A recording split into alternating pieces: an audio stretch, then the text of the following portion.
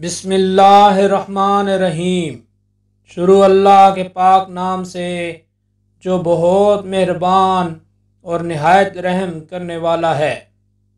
इमाम अबू हनीफ़ा रहमतुल्लाह फ़िका हनफी के बानी इमाम हैं।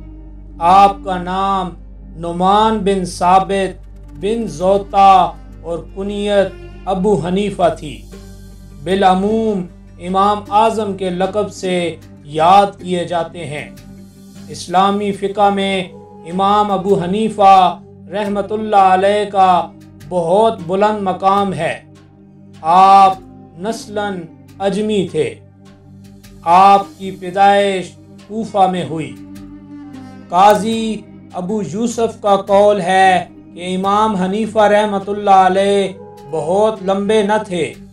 आपका कद दुरमियाना था, खुशगवार और शीरी सुखन थे। वाले ताजर थे, लेकिन अल्लाह ने उनसे दीन की खिदमत का काम लेना था। लिहाजा तजारत का शुगल इख्तियार करने से पहले आप अपनी तालीम की तरफ़ मुतवजह हुए।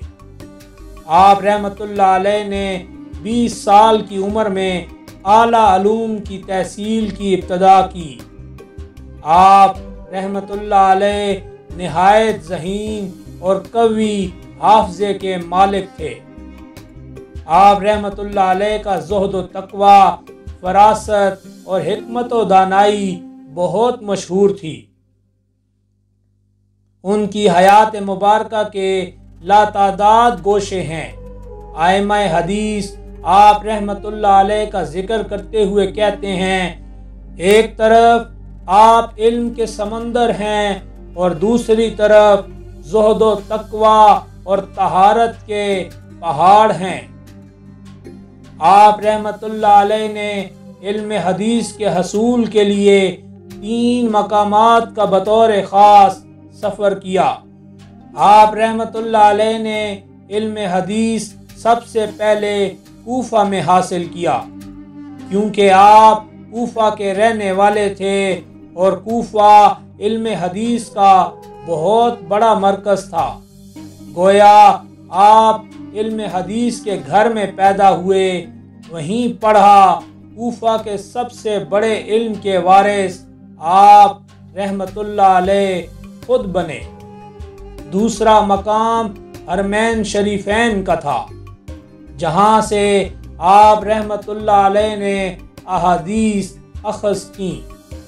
और तीसरा मकाम बसरा था। इमाम अबू हनीफ़ा रहमतुल्लाह ने तकरीबन चार हज़ार इस से इल्म हासिल किया। इमाम अबू हनीफ़ा रहमतुल्लाह के इस का सबसे पहला तबका सहाबा कराम रिजवान मजमैन में से हैं। आप रहमतुल्लाह इस एतबार से मुनफरद हैं कि आप ताबई हैं। आप अलैह ने सहाब कराम रिजवान अजमैन से इल्म हासिल किया। आपके अलावा इमाम मालिक अलैह समेत आयम हदीस और आयम फ़िका में कोई इमाम भी ताबई नहीं। इमाम अबू हनीफ़ा अलैह ने सहाबा कराम रिजवान मजमैन की बराह रास्त ज़्यारत की और उनसे अहादीस नबी सल्लल्लाहु अलैहि वसल्लम का इल्म हासिल किया। इमाम मोहम्मद बाकर रहमतुल्लाह और इमाम जाफिर सादिक अलैह की शागिर्दी का फ़ख्र भी उन्हें हासिल है। इमाम अबू हनीफ़ा रहमतुल्लाह शरीयत के सतून थे मर्रख ख़तीब बगदादी ने इमाम के पोते इस्माइल से रवायत किया है कि मैं इस्माइल बिन हम्माद बिन नोमान बिन साबित बिन मरजबान हूँ। हम लोग नस्लन फारस से हैं। इमाम साहेब के दादा साबित बचपन में हज़रत अली रज़ी अल्लाह तहों की खिदमत में हाजिर हुए थे। उन्होंने उनके ख़ानदान के हक में दुआ खैर की थी। हमें यकीन है कि वो दुआ बेअसर नहीं रही। तिजारत उनका ज़रिया माश था। तिजारत से ही रिस्क हलाल कमाते। दौलत की कमी न थी, लेकिन उनकी दौलत और सरवत का फ़ायदा तलबा और हाजतमंदों को ही पहुँचता। फरोख्त किए जाने वाले कपड़े के ऐब बराबर बयान करते और ख़राबी को कभी न छुपाते। अपने शागिर्द की अक्सर माली इमदाद करते। हज़रत इमाम अबू हनीफ़ा रहमतुल्लाह अलैह के एक हज़ार के करीब शागिर्द थे, जिनमें चालीस अफराद बहुत ही जलील मरतबत थे। इमाम अबू हनीफा रहमतुल्लाह अलैह अपना तरीके, इश्तहाद यूँ बयान करते हैं। सबसे पहले किसी मसले का हुक्म किताब अल्लाह से अखज़ करता हूँ। फिर अगर वहाँ वो मसला ना पाऊँ तो सुन्नत रसूल सल्लल्लाहु अलैहि वसल्लम से ले लेता हूँ।